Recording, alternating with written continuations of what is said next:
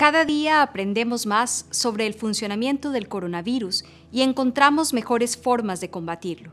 El distanciamiento social, mantenerse a seis pies de distancia de los demás, sigue siendo importante, pero el Centro para el Control de Enfermedades quiere que la gente use tapabocas o mascarillas en público también.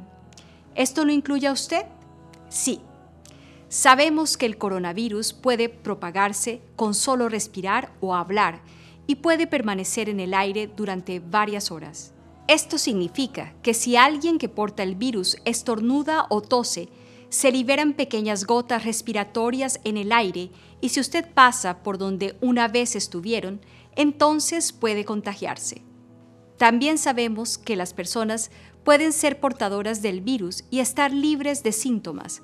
Por lo tanto, usted puede propagarlo hacia otros sin usted darse cuenta. Si lleva una mascarilla, entonces está protegido de los demás y está protegiendo a los demás de usted. Las mascarillas también pueden evitar que se toque los ojos, la nariz y la boca, todos los lugares donde a los gérmenes les gusta entrar en su cuerpo.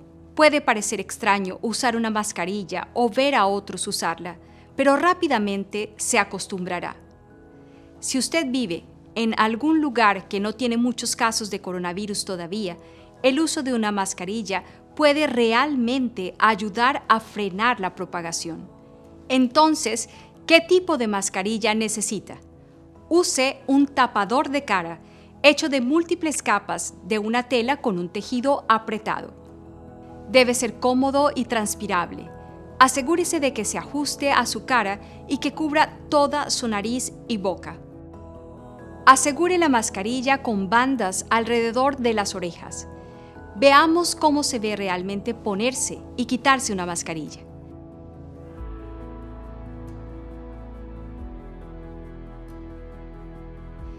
y cuando esté listo, use estos lazos para quitársela.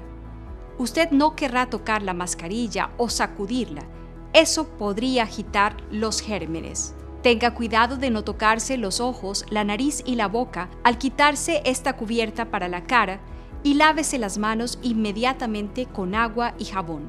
Para mantener la mascarilla limpia, lávela después de cada uso con el ajuste de agua más caliente y aire caliente para secarla. Si usted está cuidando a alguien que está enfermo o si usted está enfermo, los CDC recomiendan el uso de una mascarilla en casa, pero no quieren que usted compre una mascarilla quirúrgica o una mascarilla especializada llamada N95. Estas son escasas y solo deben ser utilizadas por nuestros profesionales de la salud.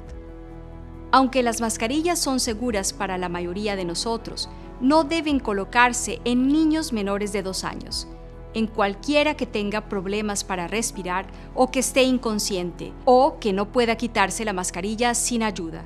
Para obtener más información sobre las mascarillas y para ver las instrucciones paso a paso sobre cómo hacerlas en casa, visite cdc.gov.